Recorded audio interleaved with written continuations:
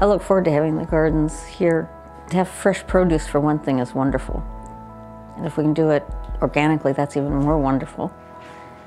And to be able to get my hands in the dirt is even more wonderful. we don't want to get it any deeper than it was planted before. So I'm just going to lift it up just a little bit, okay? There we go. That's great. You did a wonderful job and you did it almost all by yourself, just by watching. You're wonderful. It was my privilege to work with the children.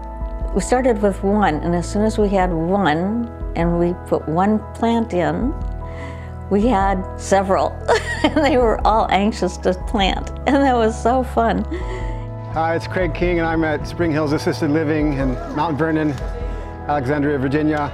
I'm really excited to be here working with Spring Hills to bring in the uh, local organic garden to provide produce and herbs for their kitchen. I think it's going to be a really exciting new dimension here. I'm really honored to be a part of it. The whole community just gathered in and everybody was pitching in and, and, it was so much fun and of course there was a cookout. It, it, was, it was just like an old country gathering, you know, and it was a great community event. How wonderful it was to pass on my heritage to the children, especially in, a, in an urban setting. You know, I come from a farm and to pass on my heritage of gardening.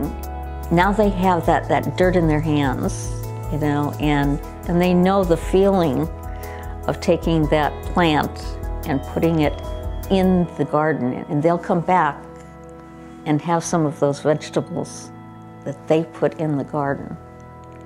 And they'll know what that's like. And that'll be their heritage too. And they'll remember that day that we spent together.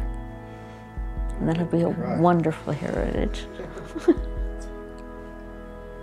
think we get any better than that. It's beautiful, thank you. Thank you.